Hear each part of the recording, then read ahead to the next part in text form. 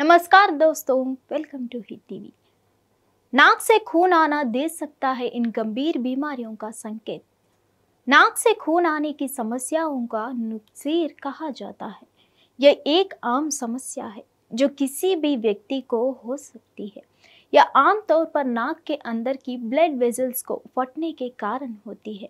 यह समस्या हर उम्र के व्यक्ति को प्रभावित कर सकती है। खराब खान पान भी इस समस्या का कारण हो सकता है। ऐसे में इसका समय रहते इलाज ना कराने से शरीर में कई बीमारियाँ पैदा हो सकती है। नाक से खून आने पर होने वाली बीमारियाँ। High blood pressure. High blood pressure नाक की ब्लड वेजल्स पर दबाव डालता है, जिससे वे कमज़ोर होकर फट सकती है। इसके कारण रक्तस्राव को भी होने की संभावना बढ़ जाती है। हीमोफीलिया। हीमोफीलिया एक ऐसी बीमारी है जिसमें खून के तक्के बनने में समस्या होती है। इसके कारण नाक से खून आने को रोकना मुश्किल हो जाती है। हीमोफीलिया वाले लोगों में नाक से खून आने की संभावना ज़्यादा देखने को मिलती है। Chronic liver disease chronic liver disease नाक से खून आने सहित कई तरह की समस्याओं का कारण बन सकता है। यह डिसीज खून के तक्के बनने की प्रक्रिया को प्रभावित करता है, जिससे नाक से खून आने की संभावना बढ़ जाती है। इथेरोस्केलोसिस एक ऐसी स्थिति है जिसमें धामनिया में प्लाक जमा हो जाता है।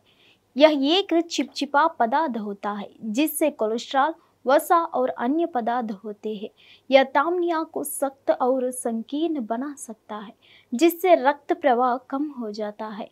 हाई ब्लड प्रेशर नाक से खून आने का कारण बन सकता है। नेजल ट्यूमर नेजल ट्यूमर नाक से खून आने का एक आम कारण है। यह ट्यूमर रक्त वाहिकाओं को नुकसान पहुँचा सकता है, जिससे रक्तस्राव होने की संभावना काफ़ी हद तक बढ़ सकती है। नाक से खून आने के कारण नंबर एक नाक से खून आने के कई कारण हो सकते हैं। शुष्क हवा नाक के अंदर की झिल्ली के सूखा और चिड़चिड़ा बना सकती है, जिससे ब्लड वेजल्स फट सकते हैं।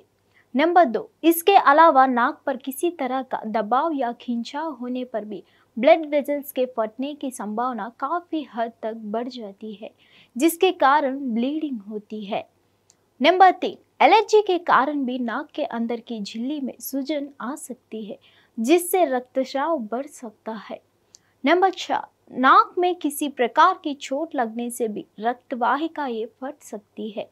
कुछ दवाइयों का सेवन नाक से खून आने का खतरा बढ़ा सकती है। बचाव, ह्यूमिडिफायर का इस्तेमाल करने या नाक में सेलाइन स्प्रे लगने से नाक को नम रखने में मदद मिलती है।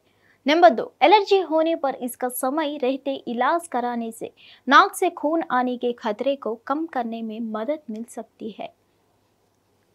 नंबर तीन, नाक में खून आने पर आगे झुकने से ब्लड को गले में बहने से रोकने में मदद मिलती है। नंबर चार, अंगूठे और तर्जनी से अपने नतूने को 10 से 15 मिनट तक दबाए रखने भी रक्तस्राव को रोका जा सकता है। नंबर पाँच, नाक पर ठंडी सिकाई करने से ब्लड वेजल्स को सिकड़ने और रक्तस्राव को कम करने में मदद मिल सकती है। यह लेख केवल सामान्य जानकारी को प्रदान करता है। इनको केवल सुझाव के रूप में ले। इस तरह की किसी भी जानकारी पर अमल करने से पहले डॉक्टर की सलाह ज़रूर करें। धन्यवाद।